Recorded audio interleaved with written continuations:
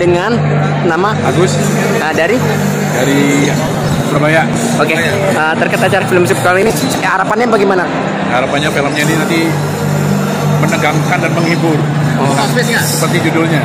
Dapat target box office ya? Oh harus dong. Harus. Harus IDN Picture. Terus kalau boleh tahu berapa nih nilainya nih buat film ini? Ya, harusnya. Oh I don't know. Oh, Pak. dia tahu. Ya.